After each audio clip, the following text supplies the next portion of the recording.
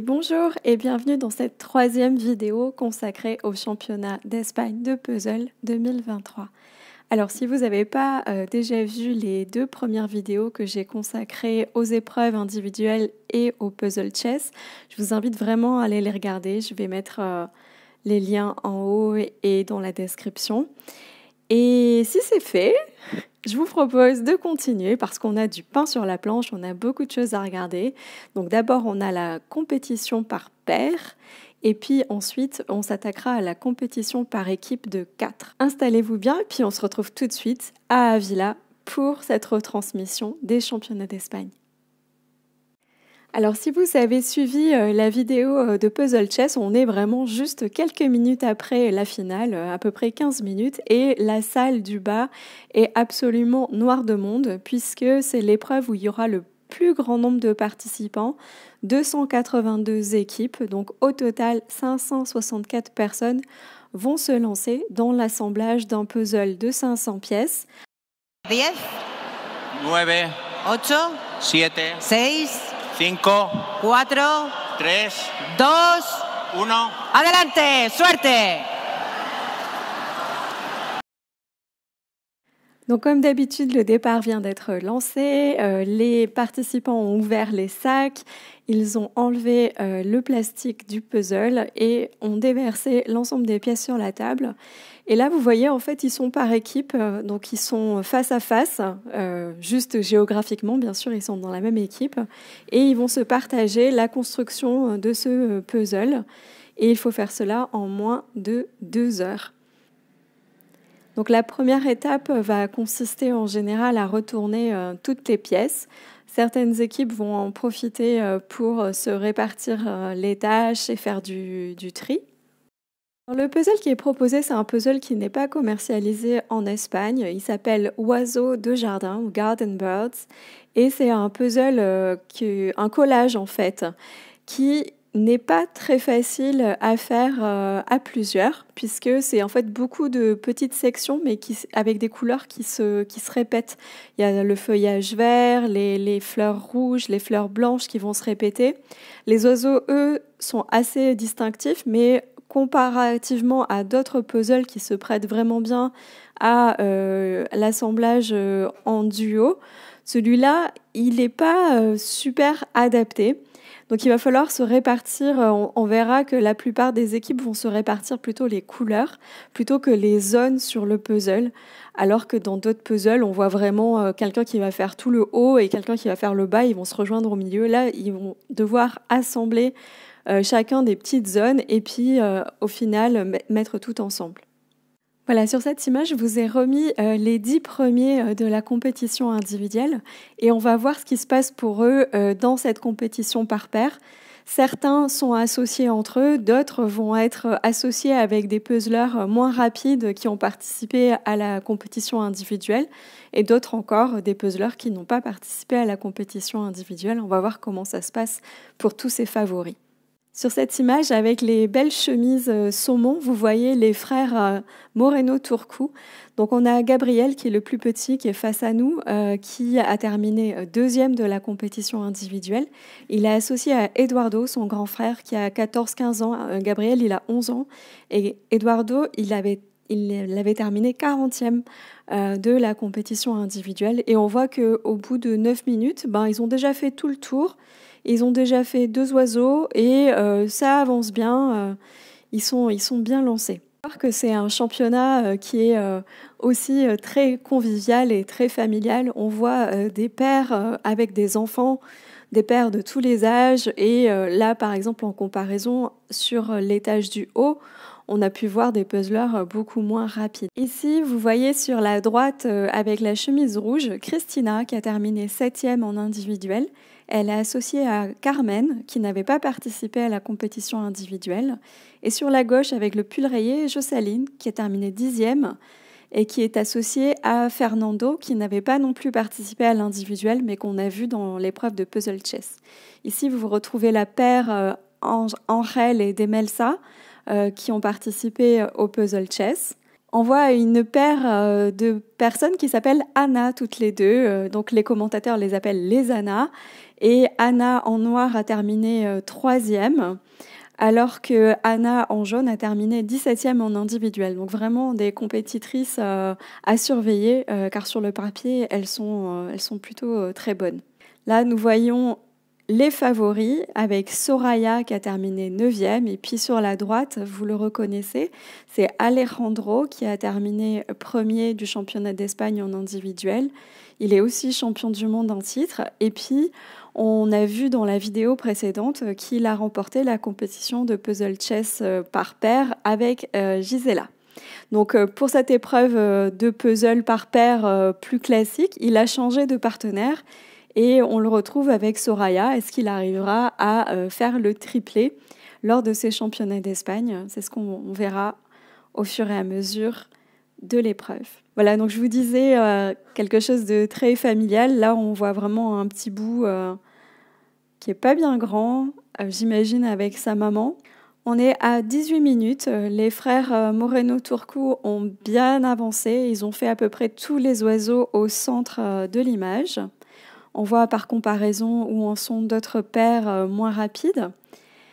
Ici sur cette image, vous voyez Laura et Raphaël. Laura, elle a terminé quatrième et Raphaël 36e. Donc euh, là aussi, ce sont des compétiteurs euh, à surveiller.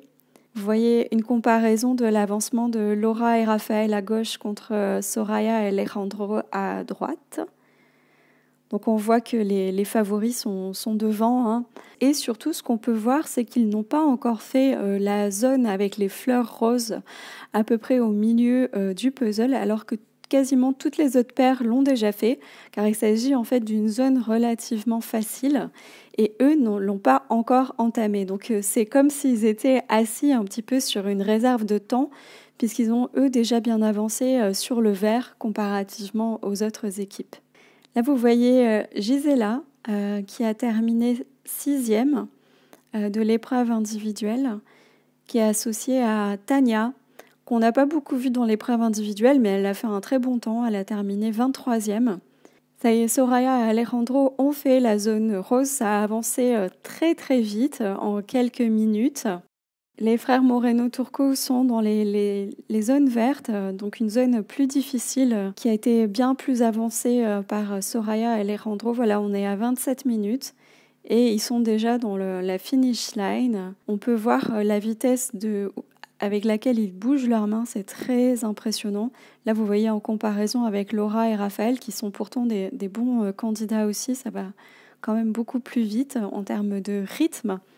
Euh, pour la paire euh, sur la droite de l'écran en noir. Voilà, plus qu'une dizaine de pièces et juste quelques petits trous à combler.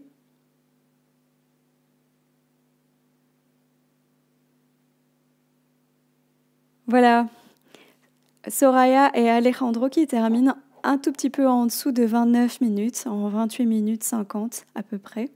Voilà, on va voir directement où en sont euh, les frères Moreno Turcu. Ils sont pas loin. Alors, il leur reste quand même, je pense, une bonne trentaine de pièces. Mais euh, c'est pas si mal. Les Anna, à peu près au même niveau. Je pense que ça va être rude, la lutte, pour la deuxième place. Non, les deux frères sont devant. Oui, oui, ils sont, ils sont largement. Façon de parler, ils sont devant. Voilà, on a dépassé les 30 minutes. Euh, il reste plus que 10 pièces environ pour les, les deux jeunes concurrents de Guadalajara. 30, oui, 30 minutes 55, donc un peu moins d'une minute après euh, Soraya et Alejandro. Gabriel et Eduardo Moreno Turcu prennent la deuxième place. Gabriel était second sur la compétition individuelle. Il reste second sur la compétition par paire avec euh, son grand frère. Comme Alejandro était premier, il reste premier.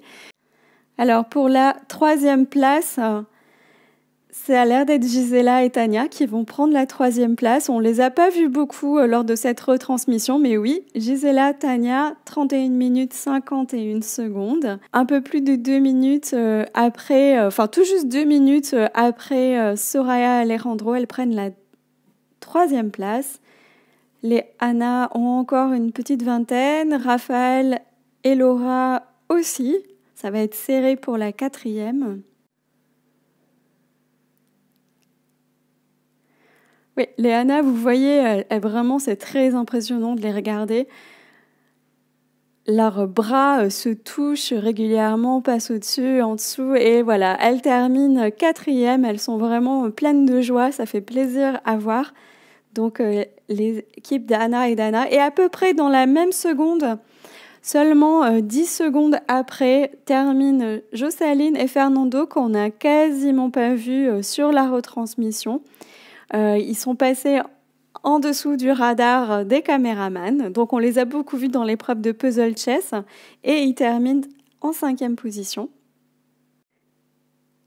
Et Laura et Raphaël euh, vont aussi terminer. Il leur reste une dizaine de pièces. Aurel et Demelsa sont un petit peu plus loin. Ça va se jouer entre eux pour la sixième place. Laura et Raphaël prendront la sixième place, 44 secondes après les cinquièmes. Et quasiment tout juste après, en 13 secondes, Demelsa et Enrel prendront la septième en 33 minutes 55. En huitième place, on retrouve Laura, l'autre Laura, euh, qui avait euh, terminé, qui avait créé la surprise lors de l'épreuve individuelle. Elle avait terminé cinquième. Là, elle était associée à une candidate qui s'appelle Anna, qui, avait terminé 81e euh, lors de l'épreuve individuelle. Et leur duo va terminer huitième en 39 minutes. Donc là, il y a, un gros saut en fait entre euh, Enrel et Demelsa et euh, cette paire. 40 secondes plus tard, euh, la neuvième place sera prise par Alejandro, l'autre Alejandro qui avait terminé huitième euh, lors de l'épreuve individuelle. On l'avait pas beaucoup vu, c'est un adolescent. Il était associé ici avec son papa. Et enfin, pour terminer, en dixième place, c'est la paire avec euh, Christina, qui était septième en individuel et qui était associée à Carmen, qui n'avait pas participé à l'épreuve individuelle. Donc les dix premiers euh, du classement individuel se retrouvent aussi dans les dix premières places euh, du classement par paire.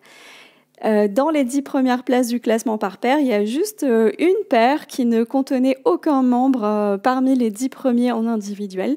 C'était la paire d'Enrel et d'Emelsa, mais qui, eux, étaient aux, portes des dix premiers puisqu'ils étaient 13e et 14e. Donc euh, ces dix premiers se sont tous classés en moins de 40 minutes et ce sont les seuls en fait qui vont se classer en moins de 40 minutes. Et Alejandro et Soraya ont même réussi à être en moins de 30 minutes. La dixième place, euh, les organisateurs ont un, tout petit peu plus de mal à, tenir le compte de, qui est en train de terminer. On voit Soledad et Carlos qu'on avait vu euh, dans l'épreuve euh, de puzzle chess qui termine et qui se demandent à qui ils vont pouvoir déclarer leur temps.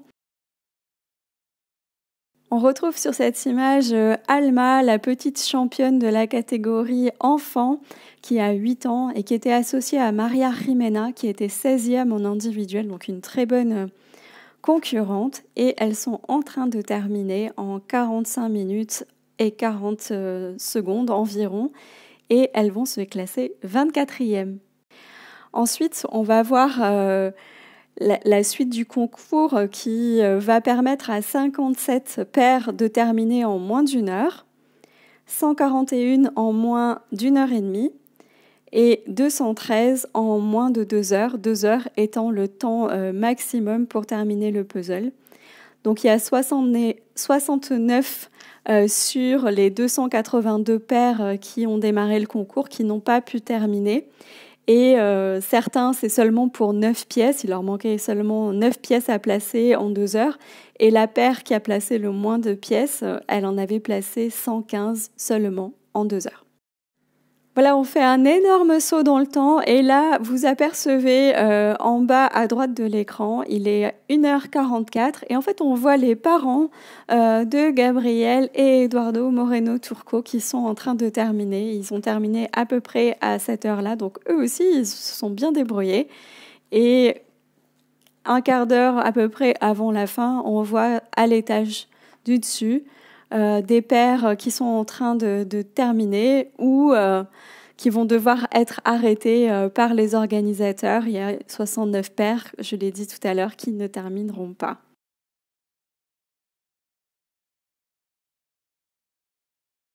Voilà, à la suite de l'épreuve par paire, il y a eu euh, une cérémonie euh, de remise des prix rapide et puis un spectacle de magie qui a été proposé aux candidats par l'organisation du championnat d'Espagne. Donc c'est vraiment un, week-end euh, de fête hein, qui est proposé. Et nous nous retrouvons le dimanche matin. On espère que la nuit a été bonne pour tout le monde. Pour la dernière épreuve, l'épreuve par équipe. Donc ce sont des équipes de 4. 5, 4, 3, 2, 1. Adelante, suerte. Donc 73 euh, équipes euh, étaient euh, inscrites pour participer. Donc on voit la salle beaucoup moins remplie qu'hier pour l'épreuve reine, l'épreuve des pairs. Et chaque équipe occupe une double table, donc plus d'espace bien entendu, pour pouvoir réaliser ces puzzles. Donc que vont-ils devoir réaliser? Ils vont devoir assembler deux puzzles de 1000 pièces en un maximum de 3 heures de temps. Ils peuvent choisir l'ordre dans lequel ils vont faire les puzzles. Par contre, ils ne peuvent pas faire deux puzzles à la fois. À aucun moment, il ne doit y avoir deux puzzles en cours de construction euh, sur la même table. Alors ces puzzles, quels sont-ils justement? Donc euh, le premier, euh, c'est le puzzle qui s'appelle Venezia de la série Cities of the World, donc toujours un Ravensburger 1000 pièces bien sûr, et illustré par Franz Leroux, qui est un illustrateur néerlandais. Donc c'est un puzzle avec énormément de détails, un style bande dessinée qui euh, est très compliqué à réaliser euh, par équipe puisqu'il n'y a pas de grandes zones bien délimitées euh, d'une certaine couleur pour pouvoir se séparer le travail. Donc je pense que ça va être assez compliqué pour les équipes d'assembler ce puzzle Venezia. Et puis un petit spoiler, mais ce puzzle va receler de nombreuses surprises, donc je vous invite à rester jusqu'à la fin de cette vidéo. Le deuxième puzzle, il s'appelle No Ball Games. Il est réalisé par l'artiste Ailsa Black. Et ce puzzle apparaît euh, plus facile. Il est dans une illustration, euh, c'est une peinture en fait avec des couleurs euh, très vives, des couleurs primaires qui sont assez intenses. Et là, je pense que ça va proposer plus de zones bien délimitées, faciles à trier et ça sera plus facile pour les équipes de s'organiser dans la construction euh, de ce puzzle. Et puis on verra, je vous le dis aussi dès maintenant, euh, en fait ce puzzle euh, est beaucoup plus rapidement assemblé que le puzzle Venezia comme on pouvait s'en douter et ça s'est effectivement confirmé dans la réalité. Alors les équipes sur lesquelles nous devons garder un œil. Tout d'abord l'équipe favorite, l'équipe non-stop. C'est l'équipe qui est championne euh, du monde de puzzle. Et vous voyez qu'il y a du beau monde dans cette équipe, puisque vous reconnaissez très probablement Alejandro Clemente León, le champion d'Espagne. Euh, les deux Anna, Anna Ril et Anna Jimeno, qui ont terminé euh, troisième de l'épreuve par paire.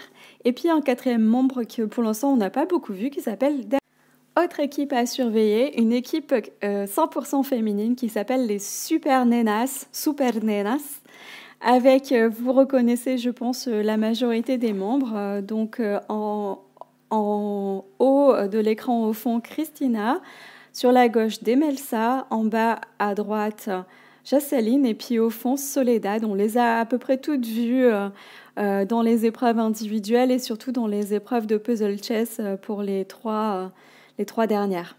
Avec les beaux t-shirts bleus, on a une équipe euh, très jeune en âge et on peut reconnaître les deux frères euh, Moreno Turcu qui ont terminé deuxième de la compétition par paire.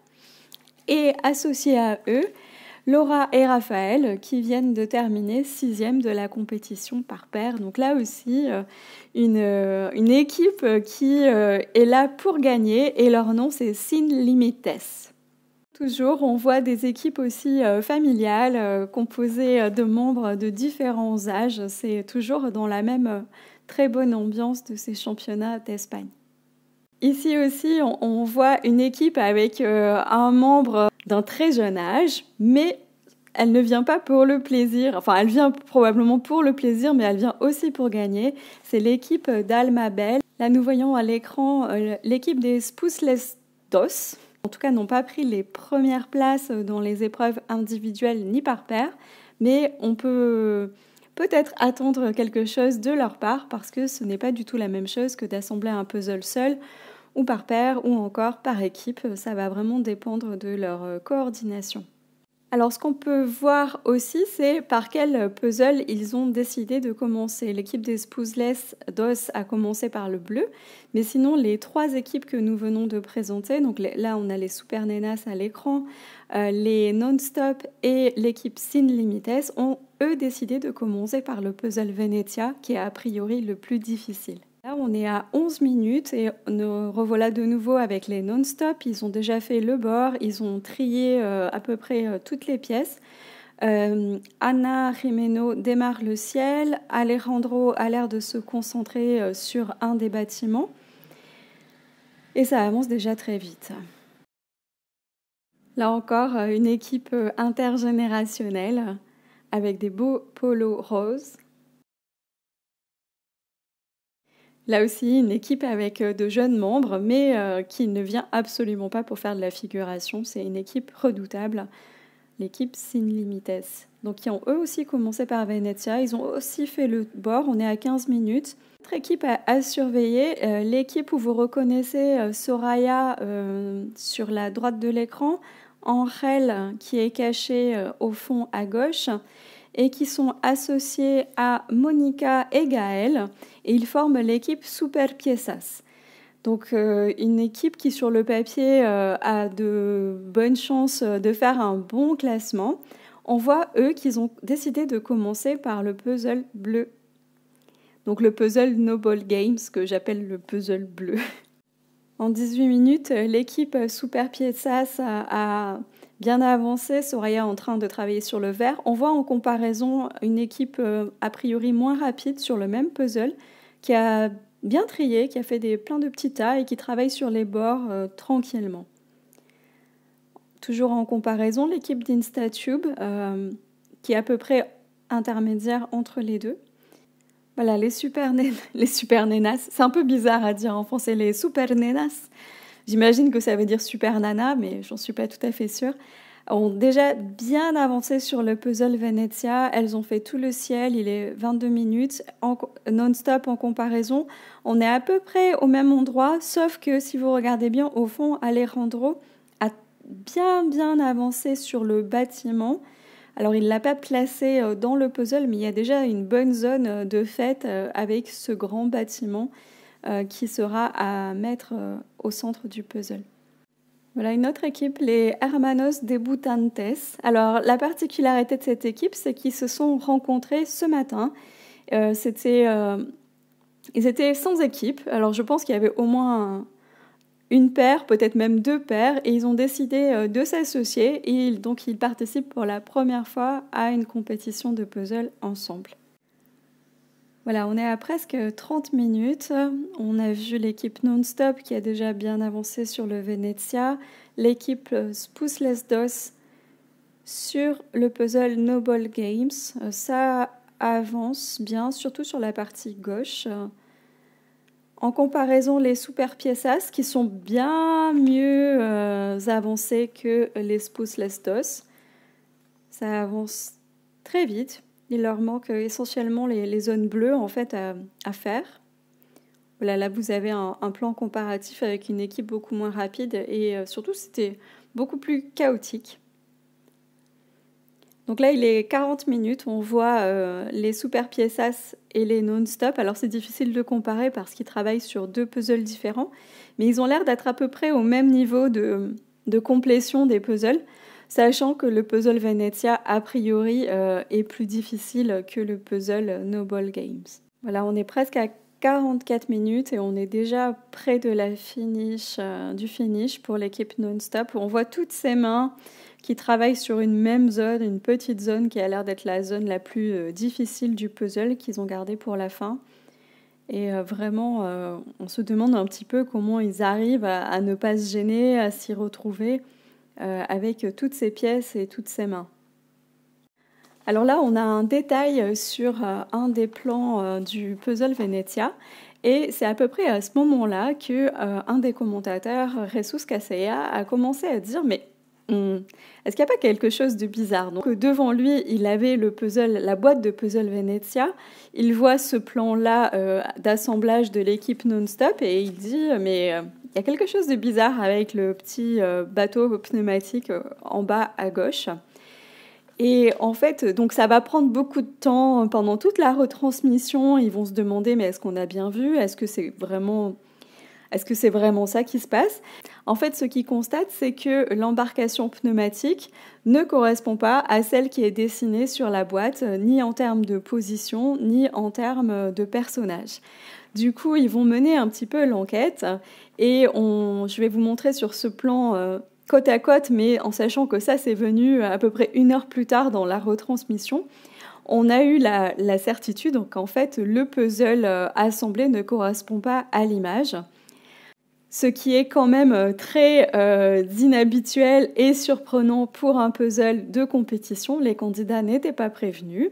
Les organisateurs n'étaient pas prévenus, ils ont été très surpris en fait de découvrir cela et Pourtant, c'était super prévisible parce que dans la série Cities of the World, quand on ouvre la boîte, il y a un petit euh, document, vous savez, la petite fiche euh, qu'on trouve à l'intérieur des puzzles Ravensburger, qui explique que euh, d'une ville à l'autre, on retrouve des personnages et il y a toujours une, différence en fait entre le, le puzzle et l'image sur la boîte. Donc c'est assez surprenant en fait que euh, les organisateurs euh, n'aient pas été prévenus, ne se soient pas rendus compte de cela, parce que je pense qu'ils n'auraient pas choisi euh, ce puzzle-là pour proposer pour la compétition. Cependant, pendant les interviews, Eva et Ressus vont à peu près demander aux meilleures équipes, à peu près à tout le monde, s'ils avaient vu, remarqué la différence. Et personne euh, n'avait rien remarqué. Donc, euh, en vérité, la différence était relativement subtile. Et les candidats n'utilisent que très peu la boîte pour regarder euh, l'image. Ils l'utilisent à peine pour placer des grands blocs d'objets les uns par rapport aux autres, mais clairement pas pour identifier des détails. En tout cas, les meilleurs puzzlers de vitesse regardent très peu la boîte. Et heureusement, parce que sinon, ils auraient pu être un petit peu perturbés euh, à devoir euh, placer des pièces qui ne figuraient pas sur l'illustration de la boîte. Voilà, ça c'était vraiment une anecdote euh, assez croustillante sur le puzzle qui a été choisi. Mais retournons à la compétition.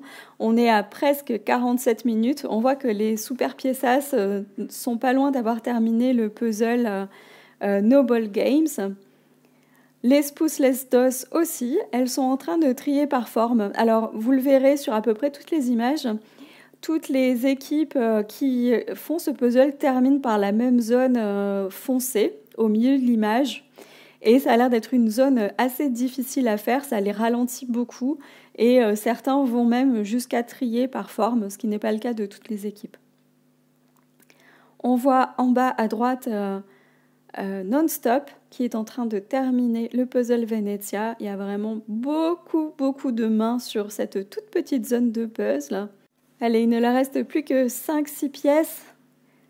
On est à moins de 48 minutes. Ouais, il termine en moins de 48, donc en 47-57.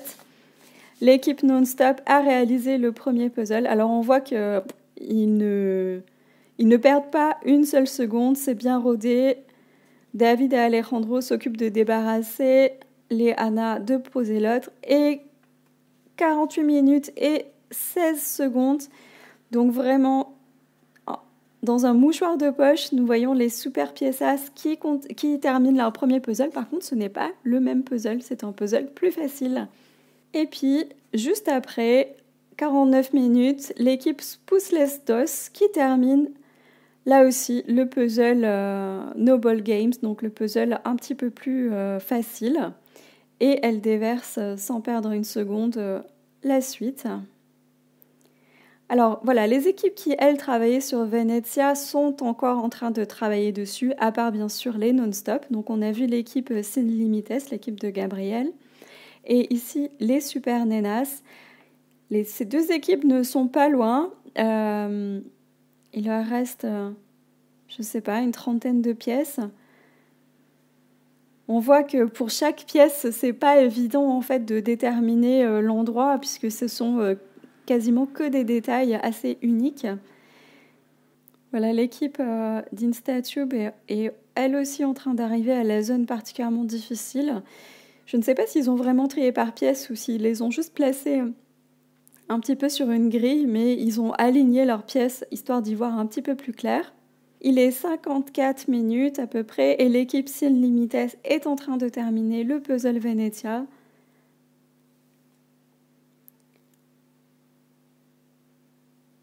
Ah, il leur manque une pièce, voilà. Ils sont un petit instant, ils perdent quelques secondes là, euh, et enfin ils, ils remballent le puzzle. On voit qu'ils sont un petit peu moins rodés que l'équipe non-stop euh, pour euh, remballer et déballer l'autre puzzle. Peut-être un petit peu de fatigue aussi. En tout cas, ils terminent le même puzzle que l'équipe non-stop à peu près 7 minutes plus tard, ce qui est quand même une sacrée performance vu la difficulté du puzzle. L'équipe d'Instatube en 56 minutes et 40 et quelques secondes est en train de terminer son premier puzzle. C'est la cinquième euh, équipe euh, à terminer un puzzle, euh, le premier puzzle. Belle performance. Voilà, là, ils sont très efficaces sur la remise en boîte. Nous avons l'équipe Alicante Parlante qui était en train de terminer et on n'a pas vu, mais les Super Nenas, en 57 minutes 30 à peu près, ont terminé le puzzle Venezia. Donc à peu près 3 euh, minutes après euh, les Sin Limites. Là aussi, euh, c'est bien rodé, hein, la transition d'un puzzle à l'autre. On sent l'équipe qui a l'habitude de travailler ensemble ce qui est le cas de cette équipe Super Nenas. Là, vous voyez Gisela qui a terminé sixième en individuel, qui a gagné le, puzzle chess avec Alejandro, qui est dans une équipe euh, qui ne comprend aucun des meilleurs puzzlers. Elle est en fait en équipe avec sa mère. Je vous laisse deviner qui est sa maman, euh, parce que je trouve qu'elles se ressemblent énormément. Et euh, elles vont terminer le puzzle Noble Games en à peu près une heure. Voilà, on est presque à une heure de compétition. L'équipe non-stop a non seulement déjà terminé un puzzle, mais ils sont super avancés sur le deuxième. On voit sur ces images. Les deux équipes euh, que l'on voit en comparaison là sont en train de terminer leur premier. Eux en ont déjà fait un autre. On voit Super euh, qui s'attaque au tri et au démarrage de la construction du puzzle Venezia. On fait un petit euh, bond dans le temps, on est à peu près à 1h20 et on voit où en sont l'équipe euh, Sin Limites sur la gauche et Non-Stop sur la droite. Donc ils ont tous les deux assemblé déjà le puzzle Venezia et ils sont dans le, deuxième puzzle. On voit que sur la droite c'est bien plus avancé, mais les deux équipes euh, ne sont pas loin en fait déjà de, de terminer la construction de ces deux puzzles de 1000 pièces à 1h20.